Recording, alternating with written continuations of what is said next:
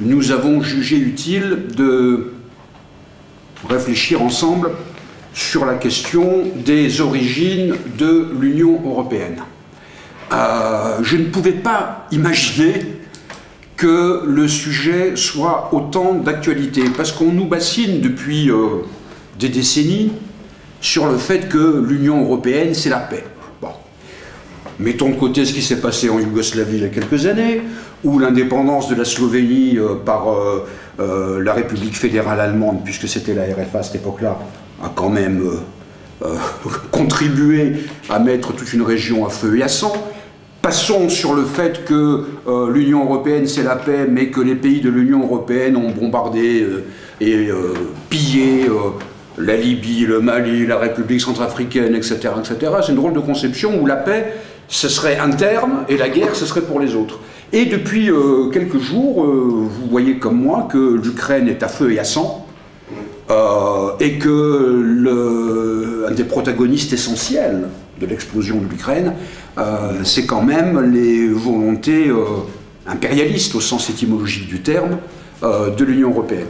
alors pourquoi réfléchir sur les origines de l'Union européenne? Je crois que il faut revenir sur quelque chose qui est ce que nous, libres penseurs, nous portons comme accusation majeure, définitive, absolue, aux religions en général comme étant un facteur d'oppression et d'aliénation, mais plus particulièrement à l'Église catholique. On nous dit régulièrement, mais pourquoi vous, libres penseurs, vous en prenez plus à l'Église catholique qu'aux autres?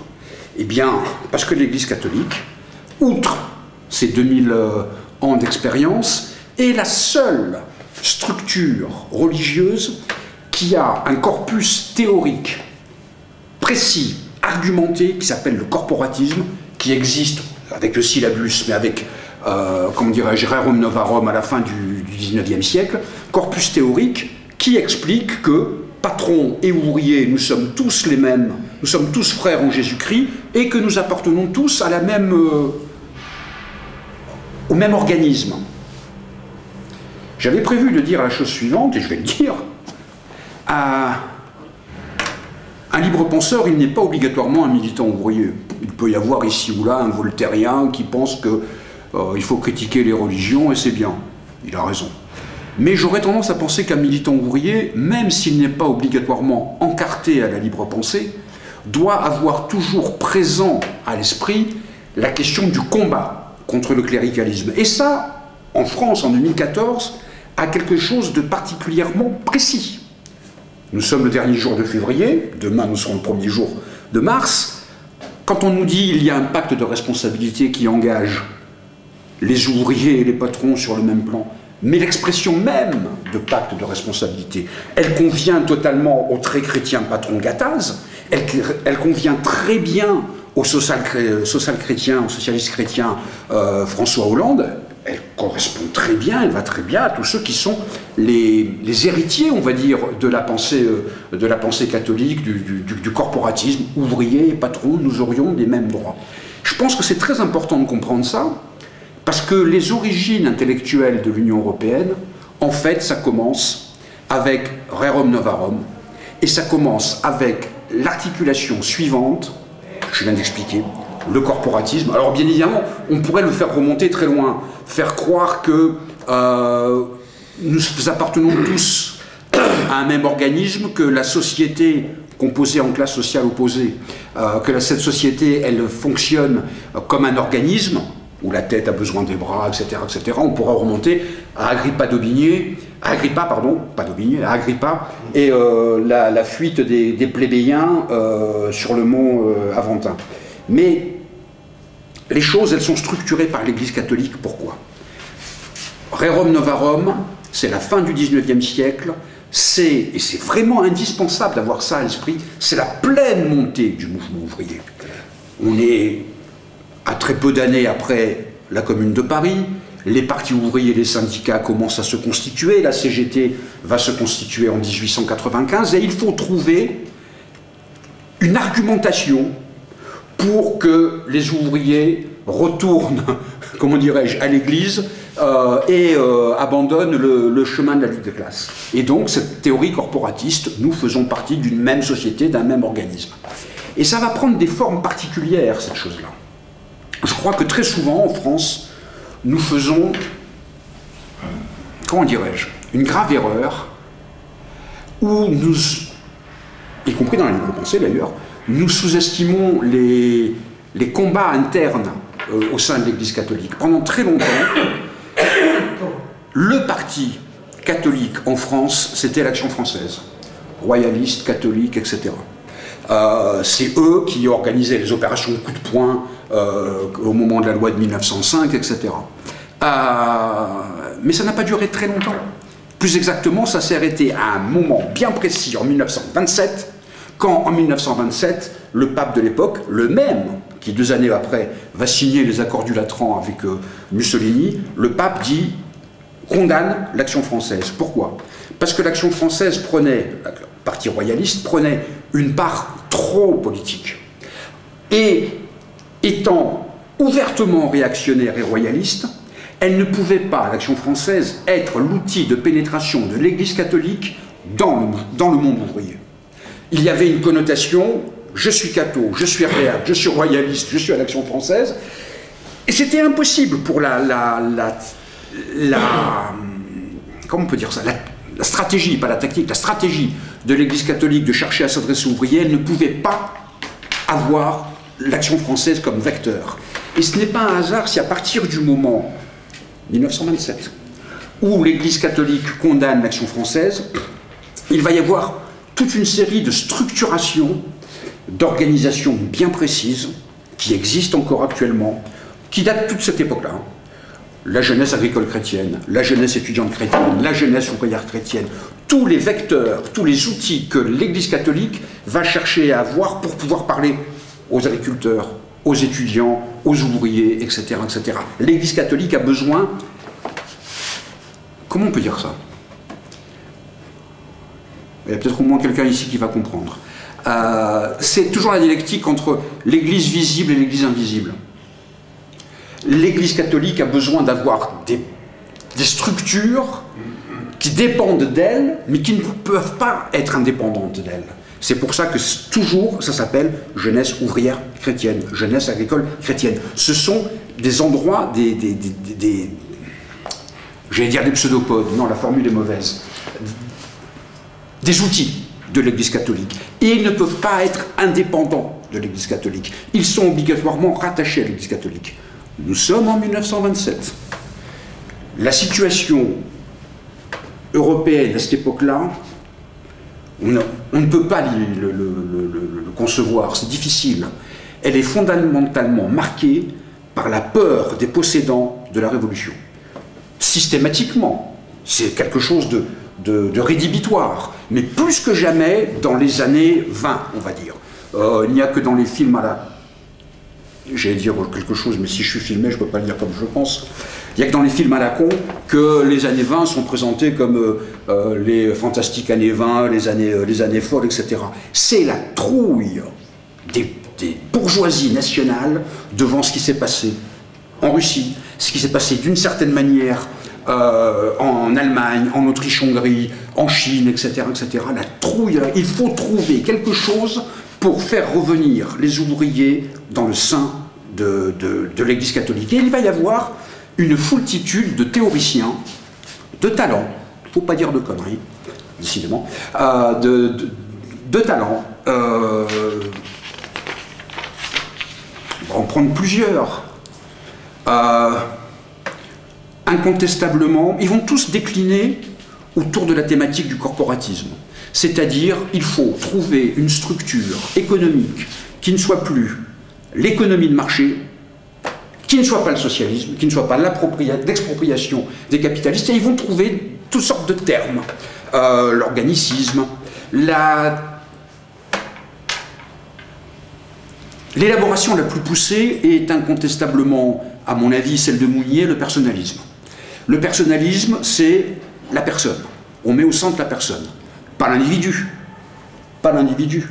Pas l'homme. Pas l'être humain, la personne. La personne qui est une notion fondamentalement euh, chrétienne. Et donc, et il considère que personnalisme et corporatisme, c'est la même chose. Mounier, c'est très intéressant, euh, Mounier, euh, quand on lit un peu ce qu'il est écrit, c'est toujours des formules bizarres. J'en ai retenu plusieurs. Par exemple, je vais. Il explique. Voilà, il faut trouver une idéologie de troisième voie entre libéralisme et socialisme. Il explique, voilà, j'adore ce genre de formule. Il faut établir une démocratie industrielle, non pas parlementaire et quantitative, mais fonctionnelle et organique. La responsabilité personnelle étant toujours à tous les degrés la contrepartie de l'autorité. C'est quoi une démocratie industrielle, non pas parlementaire et quantitative? Quand on gratte bien, c'est le rejet du suffrage universel.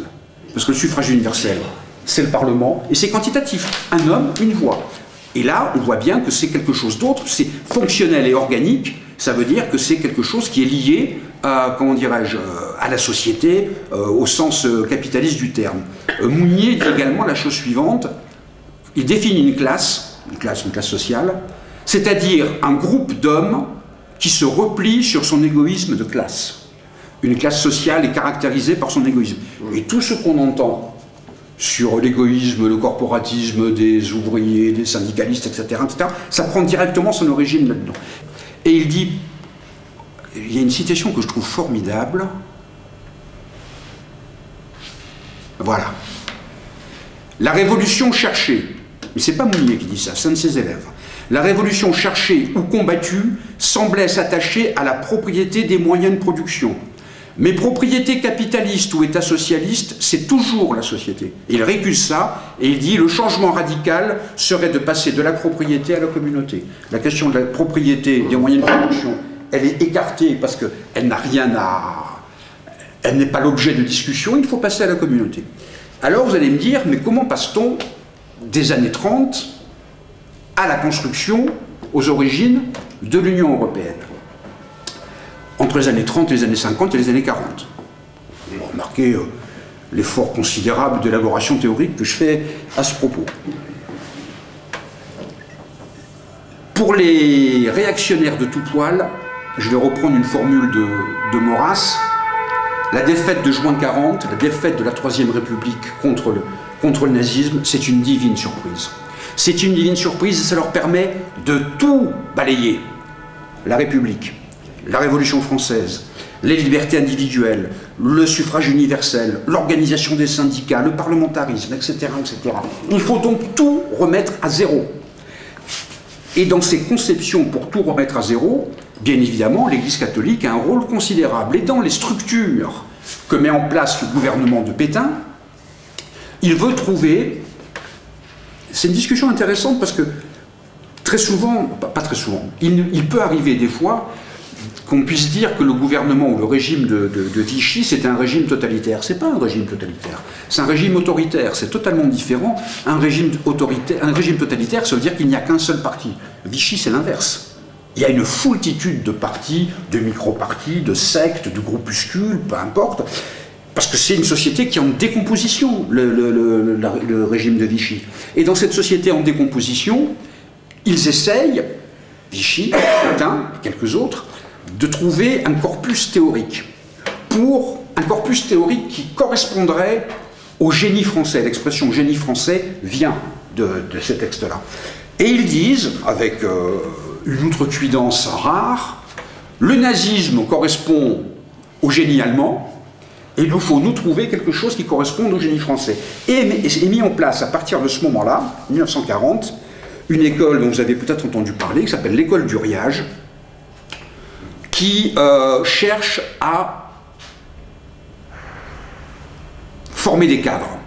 Former des cadres, des cadres qui soient euh, théoriquement solides, qui soient formés. C'est le, précurseur de l'ENA, on va dire. Hein. Il y a même un point commun entre l'un et l'autre, l'école du riage et l'ENA. Ce sont des élites autoproclamées qui ont un pouvoir supérieur au suffrage universel. Parce que la force de l'ENA, c'est je suis énarque, bon, point barre, pourquoi, comment, euh, ou je suis de l'école du riage, c'est réglé, et, la force qu'ils ont ne vient pas de la seule, euh, comment ça, de la seule souveraineté euh, tangible en démocratie, c'est le suffrage universel. Et donc, l'école du riage commence à se constituer. Elle n'a pas duré très longtemps. Hein. Elle a été fermée en janvier 1943, le 1er janvier 1943.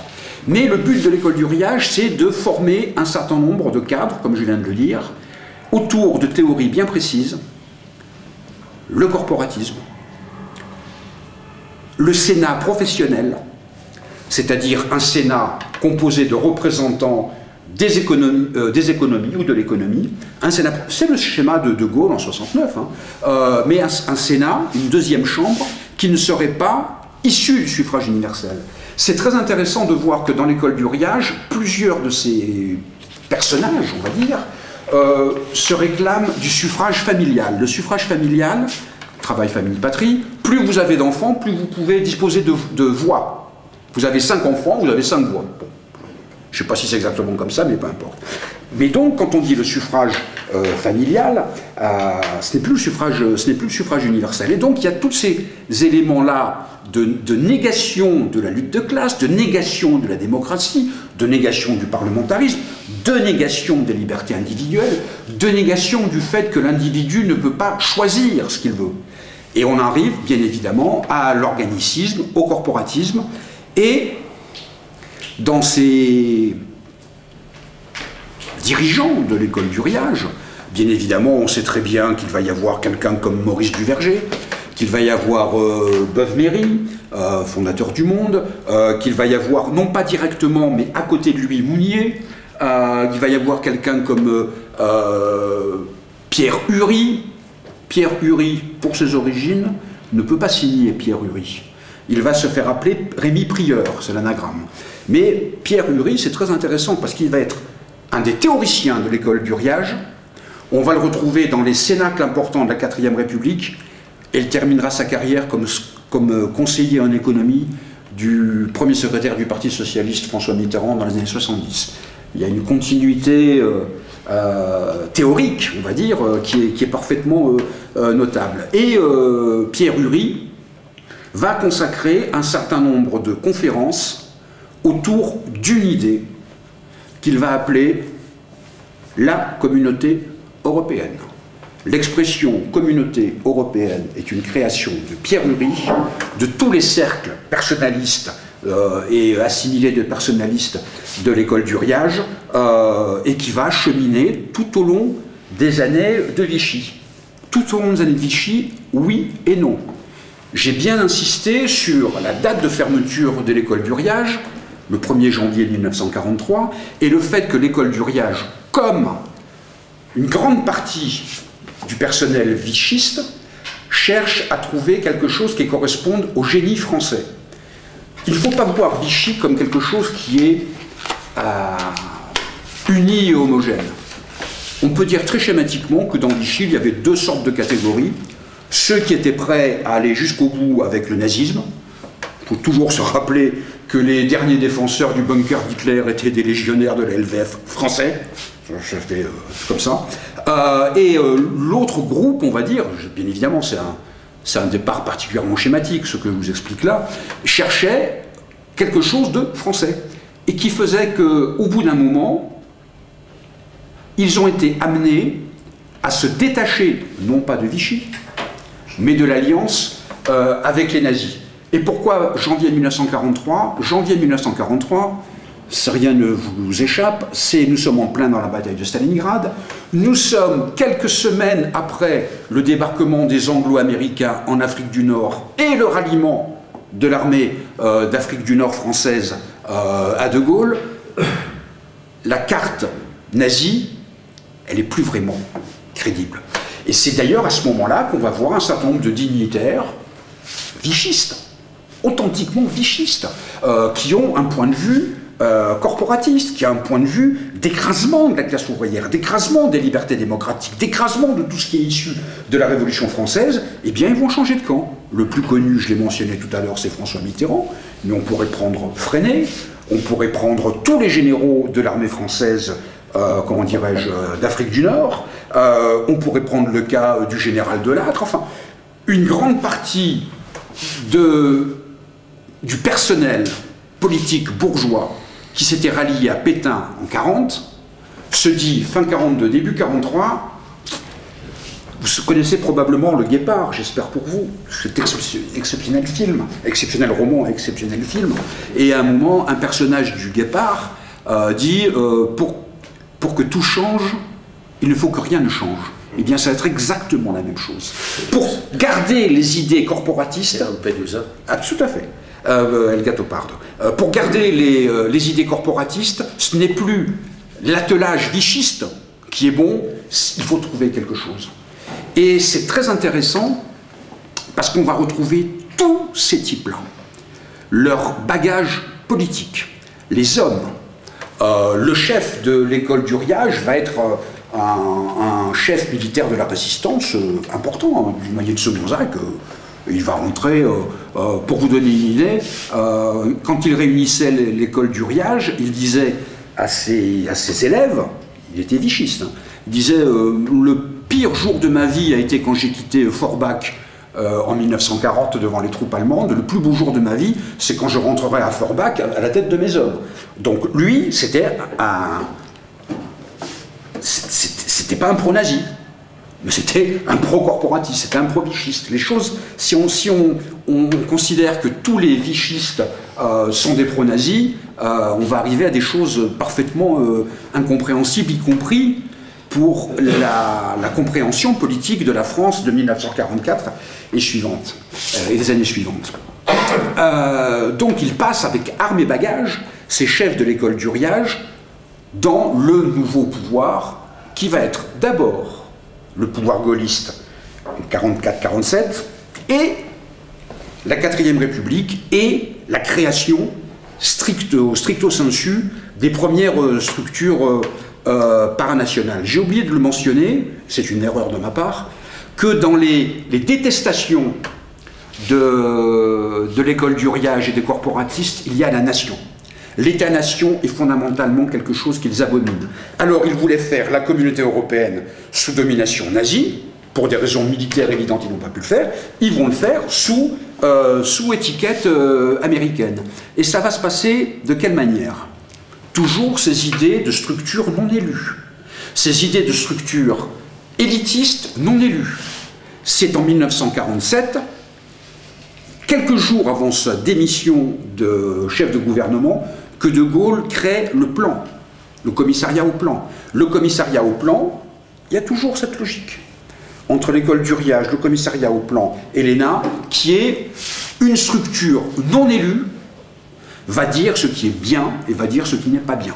Et on va retrouver au commissariat au plan tous les anciens de l'école du riage. Uri, Pérou. Et on va retrouver des gens qui ont d'autres parcours euh, idéologiques. Hirsch, qui lui vient de la France libre. Marjolin, Marjolin c'était un des représentants dans, le, dans la SFIE de l'époque de ce qu'on appelait les planistes, c'est-à-dire l'aile la plus corporatiste du Parti socialiste de l'époque. Et ils vont commencer à travailler sur il nous faut une structure supranationale. Un de leurs bonhommes va écrire un livre qui s'appelle, que je dise pas de bêtises, euh, L'État frein. Non, l'État-nation un frein si je dis pas de bêtises, mais je retrouverai la citation exacte. Et donc, ils ont besoin de, de, dynamiter tout ce qui peut être l'acquis historique positif, schématiquement du siècle des Lumières. Les droits de l'homme, la, les libertés individuelles, le suffrage universel, l'État-nation. Et la démocratie qui en découle, qui découle de tout ça qui découle de tout ça. Euh, et ce n'est pas un hasard si euh, euh, des gens qui ne sont pas obligatoirement, comment on peut dire ça, les, les, premiers, quand on voit les noms sur l'affiche, j'ai parlé de Mounier, c'est très intéressant Mounier. En décembre 2012, un journal qui s'appelle La Croix expliquait qu'un certain nombre de députés socialistes ont décidé la création d'un mouvement de réflexion et d'action qui revendique notamment l'héritage d'Emmanuel Mounier et du personnalisme. Bon, après tout, pourquoi pas? On ne connaît pas, Emmanuel Mounier et le personnalisme, pourquoi pas? Trois anecdotes permettent de caractériser, quatre, de caractériser euh, Mounier. Il se rend en 1931, si je ne dis pas de bêtises, à un congrès d'intellectuels fascistes à Rome. Il fait le même voyage en 1935-35 en Allemagne. Le dernier numéro de la revue Esprit, avant qu'elle soit interdite, date de juin 1941, où Mounier, je finis ma phrase, salue l'entrée des troupes nazies en URSS. Avec une formule qui est de mémoire, euh, j'espère que cette, cette nouvelle croisade sera plus aboutie que les autres. Et nous avons des députés qui se disent socialistes, qui saluent l'apport euh, humain, etc., etc. Mounier a beaucoup de chance, il va mourir en 1950. Euh, il y a toute nombre de, de, bobards qui sont racontés. Effectivement, Mounier passe en procès sous Vichy. En général, un procès contre un, démocrate, euh, pensez à Jean Zé, euh, à Mandel, même à Mendès France, même pas obligatoirement euh, quelqu'un du mouvement ouvrier, un vague démocrate, un procès sous Vichy avait beaucoup de chances, dans le meilleur des cas, d'être condamné à plusieurs années de prison. Mounier en sort acquitté. Les agiographes de Mounier expliquent qu'il est rentré dans la clandestinité par la suite. C'est un pipeau absolu. C'est tellement un pipeau absolu que euh, même dans le site internet de la revue Esprit, euh, on dit qu'à partir de 1942, il a vécu caché. Vécu caché et entré dans la clandestinité, c'est pas exactement la même chose. Bon. Donc il a été acquitté par un tribunal de Vichy. Comment dirais-je? Faire d'un type euh, euh, acquitté par un tribunal de Vichy un opposant à Vichy, c'est quand même quelque chose d'extraordinaire. Et donc nous avons toutes ces idées corporatistes, organicistes, etc. Mais il manque quelqu'un pour les structurer. Et c'est là, Deus ex machina, qu'arrive un type dont tout le monde parle comme étant euh, un héros, euh, le père de l'Europe, je ne sais trop quoi, Jean Monnet. Jean Monnet est quelqu'un d'intéressant. À l'époque où euh, j'ai écrit cette phrase-là, donc je la revendique, à une époque où le nom de Jean Monnet n'était pas, accompagné de tous les hosannas que maintenant nous entendons, il y avait un historien américain, Robert Paxton, qui avait la France de Vichy, qui avait travaillé sur euh, Jean Monnet. Et Jean Monnet, c'est purement et simplement un agent d'influence américain. Ni plus ni moins. Monnet de Cognac était surnommé par les Américains Mr. Jean Monnet of Cognac. pourquoi of Cognac? Parce que c'est un vendeur de cognac, bon après tout pourquoi pas? Et il a fait fortune quand il s'est installé à Saint-Pierre-et-Miquelon dans les années 20 pour ceux qui n'auraient pas obligatoirement la, compris, pour ceux qui n'auraient pas obligatoirement la correspondance des choses, quand vous installez à Saint-Pierre-et-Miquelon, à quelques kilomètres des frontières américaines en pleine prohibition, et que vous vendez du cognac, vous avez vraiment toutes les chances de faire fortune. C'est ce qu'il va faire. Il va être par la suite le conseiller spécial du gouvernement nationaliste chinois de Chiang Kai-shek. C'est lui qui va fonder la Bank of China. Enfin, c'est et c'est un agent un agent américain.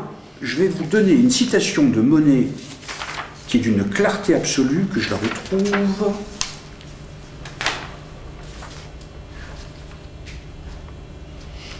Excusez-moi, mais elle est magnifique, cette citation. Et elle est tellement magnifique que je ne vais pas la retrouver. si, si, si. Dans un cadre, tu laisses Prends ton temps. Euh... Bon Dieu. Voilà. En 1942, il est envoyé par la CIA à Alger et il écrit une note précise à John McCloyd. John McCloyd, c'était un des responsables de la... Ça s'appelait pas encore la CIA d'ailleurs. Écoutez ce que Jean Monnet écrit de De Gaulle en 1942. Il faut se résoudre à conclure que l'entente est impossible avec lui, De Gaulle, qu'il est un ennemi du peuple français de ses libertés, qu'il est un ennemi de la construction européenne et qu'en conséquence, il doit être détruit dans l'intérêt des Français. Ce n'est pas une formule anodine. En 1942, il explique que De Gaulle doit être détruit dans... Bon, et c'est ce type-là qui va être au centre de tout un dispositif, euh, puisque à la fin des années 40, ses principaux interlocuteurs sont Dean Acheson, qui est le secrétaire d'État américain, l'ambassadeur des États-Unis en France, David Bruce, le haut commissaire américain en Allemagne, John, John McCloyd, que j'ai évoqué. Et donc, il est au centre de tout le dispositif américain à la fin des années 40. Et c'est là aussi que la chronologie est quelque chose d'extrêmement important. On nous explique que l'origine de l'Union européenne, l'origine de l'Union européenne, c'est euh, la déclaration du 9 mai 1950 euh, qui jette les bases de la communauté économique du charbon et de l'acier. C'est une esbrouffe absolue. C'est une double, voire triple esbrouffe. La première, le 9 mai 1950, il ne se passe rien, ou presque. Il y a un communiqué qui est signé, effectivement, qui met en place la communauté économique du charbon et de l'acier. Mais pourquoi la communauté économique du charbon et de l'acier? Un type qui s'appelle André Fontaine, qui est un élève de Mounier, dit la chose suivante, à juste titre, hein. c'est très intéressant, il a fait un bouquin qui s'appelle L'histoire de la guerre froide, guerre froide qu'il fait commencer en 1917, intéressant, euh, il dit, dans le plan Schuman de 1950, il n'y a, je cite, aucune assemblée parlementaire, ce qui est vrai. Les membres sont les porte-parole des parlements que vous avez choisis pour les représenter, il n'y a aucune élection. Et Fontaine rajoute la chose suivante, il s'agit bien de déposséder les nations, je cite, cela n'aboutissait pas qu'à retirer aux États la libre disposition des moyens matériels de se faire la guerre cela n'aboutissait pas qu'à ça. Mais ça aboutissait aussi à ça. Ça aboutit aussi au fait de retirer aux États les moyens matériels de faire la guerre, mais l'acier et le charbon, c'est pas uniquement pour faire la guerre. Donc il constitue ce truc-là, en mai 1950. Quand on regarde un petit peu dans le, détail des opérations, euh, c'est un coup de force que fait Monet, avec une certaine habileté. Hein. Il arrive à convaincre très facilement le président du Conseil de l'époque, qui s'appelait Georges Bidault. Georges Bidault, comment dirais-je? Quand on voit Georges Bidault, la carrière de Georges Bidault, on se rend compte de la grande misère du personnel politique français. Euh, Bidault, démocrate chrétien, a commencé sa carrière politique euh, en remplaçant euh, Jean Moulin. Je ne mettrai jamais Jean Moulin et Georges Bidault dans la même phrase.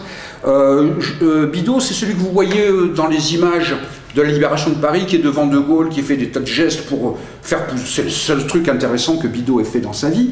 Euh, Bidot, démocrate chrétien, a fini sa carrière, comme vous le savez certainement, comme étant le, théoricien, on va dire, l'homme politique de l'OAS, l'organisation armée secrète, l'organisation euh, crypto-fasciste, euh, et qui, avec sa... comment dirais-je sa réputation de démocrate chrétien pouvait bénir, si j'ose dire, les ratonnades et les assassinats que perpétrait l'OAS. Euh, Bidot, il faut quand même lui rendre justice, n'avait pas que des défauts, il était très souvent complètement ivre, et euh, euh, il, y avait une formule du canard enchaîné qui était in Bidot veritas, tellement il était... Mais bon, Bidot, 1949, se retrouve président du Conseil, 1949, la guerre d'Indochine commence à, à terriblement. On n'est pas loin du désastre de la RC4. Euh, Langson et Kaobang, euh, on est surtout, surtout, surtout quelque chose que les, manuels d'histoire oublient, c'est une honte. On parle très souvent, dans, les, syndicalistes, de la loi du 11 février 50 qui euh, met en place les conventions collectives, qui a été suspendue par le gouvernement Mitterrand et autres, euh, mais cette loi du 11 février 1950 n'est pas tombée du ciel. Elle fait suite à une grève générale lancée par la Confédération Force ouvrière et la CGT et la FEN fin 49, qui a été une grève générale extrêmement suivie, qui fait que le gouvernement Bidot, qui est le premier gouvernement dans lequel il n'y a pas de ministre socialiste, il est acculé, il doit signer cette chose-là, il doit signer cette loi-là, mais il faut à tout prix pour Bidot trouver un coup, un coup médiatique. Euh, quand on lit un petit peu les procès-verbaux, pas les procès-verbaux, excusez-moi, les, mémoires des différents euh, hommes politiques en 1950, euh, Bidault et Schumann, on leur a, Monet leur a vendu le, fait de faire la super déclaration nous allons créer la paix entre la France et l'Allemagne, etc. Mais c'était un coup médiatique, vraiment un coup médiatique, tant et si bien ce coup médiatique que ce n'est que 18 mois après que les premières réunions de la commission euh, économique du charbon et de l'acier se sont tenues. Mais là, on voit bien tout ce fil. Le fil qui nous explique maintenant la communauté européenne avec un grand C. On nous dit, vous êtes contre l'Europe. non, moi je suis plutôt pour l'Afrique. Ça ne veut rien dire ce truc. Ça ne veut absolument rien dire. C'est une construction politique, c'est une construction humaine. Et si c'est une construction humaine, elle peut être détruite et combattue humainement. Ce n'est pas quelque chose euh, qui nous est... Pardon. C'est quelque chose qui nous est imposé ou qu'on voudrait nous imposer, mais de l'ordre de la structure corporatiste, organique. Nous ne pouvons pas pour reprendre l'expression de François Furet, nous sommes condamnés à vivre dans le monde dans lequel nous vivons. Personnellement, comme libre penseur et comme individu, je ne pense pas du tout ça. Heureusement d'ailleurs, Dieu merci. Euh, mais on n'est pas condamné à vivre dans le monde dans lequel nous vivons et on nous présente la communauté européenne comme étant quelque chose ayant existé de toute éternité. Non Elle a une origine politique, historique, idéologique bien précise. C'est les euh, organisations euh, corporatistes de 1949-1950 et du plan, c'est l'école du riage et d'Ichy, et c'est auparavant toutes les théories, on va dire, euh, du corporatisme et de l'organicisme structurées par l'Église catholique. Voilà, j'essaie de déblayer un petit peu le terrain. Une fois de plus, j'ai été trop long, mais vous avez l'habitude.